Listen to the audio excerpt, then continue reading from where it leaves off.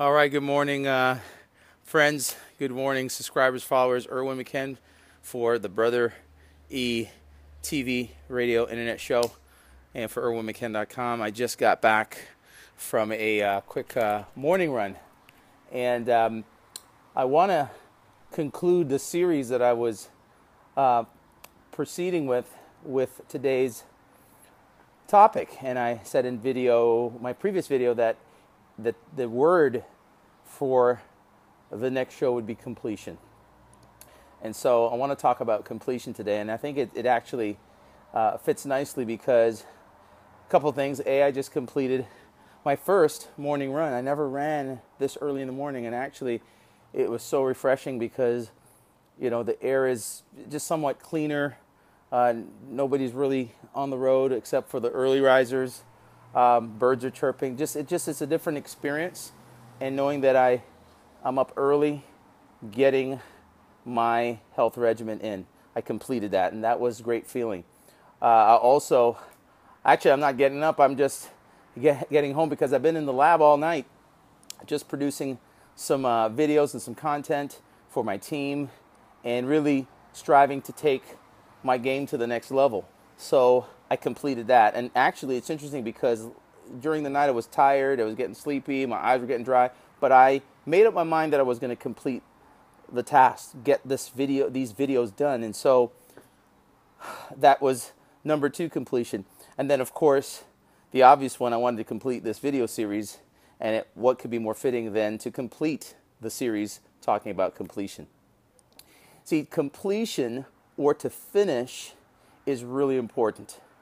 And for those of you who are maybe on a health regimen like me for 2015 to improve your health and your body, uh, maybe you are on a project at work, maybe you are helping your team members, maybe you're producing content, maybe you're uh, planning a trip, I don't know, maybe you are learning a new language. It's more important to finish than it is to start. It's important to start, but so many people start. So many people can they can lace up. So many people have the intention and make the resolution at the beginning of the year, but by, you know, February 15th, day after Valentine's, you know, the gym membership is lying on the kitchen table as, while they stuff a Twinkie in their mouth. The, most people know how to start, but a lot of people don't know how to finish. Most people know how to begin, but they don't know how to stay the course and complete. And this axiom, this mindset is really how you go from good to great. It's a phenomenal book by Jim Collins. Get your hands on it. It's it's separating yourself from the masses and entering a, a very very minute winner circle. Do you complete? Do you get finished the things that you begin? Or do you leave them dangling halfway through? Do you start conversations with people and don't complete?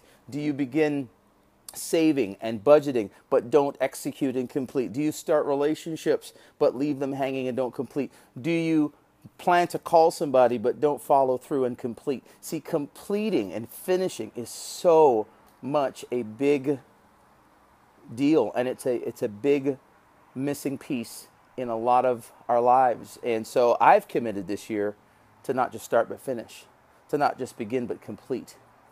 And I believe firmly that the difference between those that start from those that start and finish is really their commitment to keep their word and their integrity. See, last night when I was tired, I said, No, I'm giving my word to some people that I'm going to produce this and make it available and get it done. I gave myself my word that I'm going to improve my health and sculpt my body.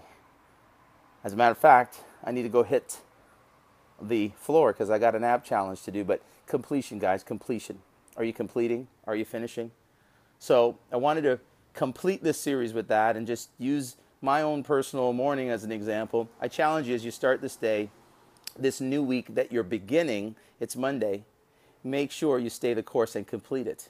Complete the task you have on your agenda. Complete the, the, the, the, the, the, the mini missions. Complete the, the things that you intend to do and you will see that when you stand on the other side of completion when you cross the river when you when you when you get to the mountaintop you will appreciate the view because you will become a different person because you completed and you finished so erwin mcken for brother e tv radio internet show and for erwinmcken.com encouraging you to not just start, but finish, complete.